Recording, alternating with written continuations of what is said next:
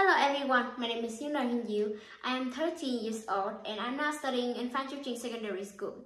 So today, the topic I want to talk to you about is the good things that people did to help the community. Therefore, good actions bring plenty of great advantages. And I think I should take more actions to help other people and I hope all of you can do things just like me. So, a good deed is an action that can inspire others to do good things and contribute positivity to the community. These actions can help create a ripple effect that can spread through our society, bringing positive changes and making the world a better place. And so for the first example is if someone donates money to a charity, it not only helps people overcome many difficulties, but also you can be a good role model for other sponsors. Or maybe when you go out of your way to help someone in need, it not only uh, it not only benefits that individual, but can also motivate others to do the same and create a culture of kindness. Another example is if someone volunteers at a local shop and helps with the animals in need. It not only has an optimistic impact on the animals, but also on the other volunteers too.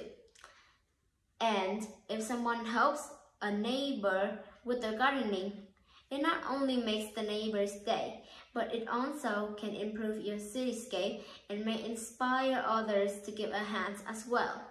Similarly, if someone does a good job at work, it can improve productivity and create a more positive working environment.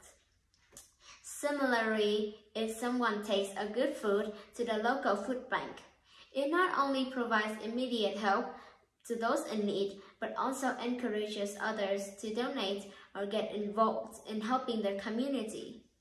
If someone volunteers to clean up a park or a street, it not only improves the local uh, place, but also builds community pride and encourages more people to take care of their surroundings. Positive actions can also inspire others to make good deeds for other peoples.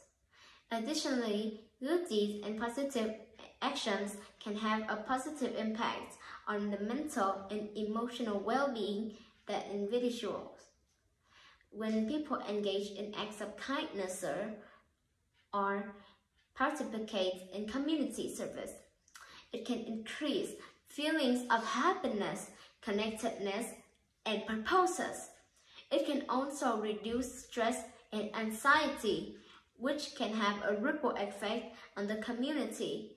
When you volunteers at a local soup kitchen and helps to feed the homeless, not only they do directly assist those in need, but also they appear as a role model for others to follow in their footsteps and make a difference in their community. When people or someone performs an act of kindness or goodwill, it can inspire others to do the same, creating a chain reaction and positivity in the community. The impact can be far-reaching and long-lasting. If someone volunteers to pick up litter in the neighborhood, they can tell everyone to do the same, making a beautiful world. Or when they excel as your job and consistently provide quality work, it can positively impact the productivity and make of your co-worker and benefits the overall success of the park, can inspire others to take responsibility for keeping their own neighborhoods clean. So, when we see the positive impacts of good deeds, it can also encourage us to continue doing good ourselves.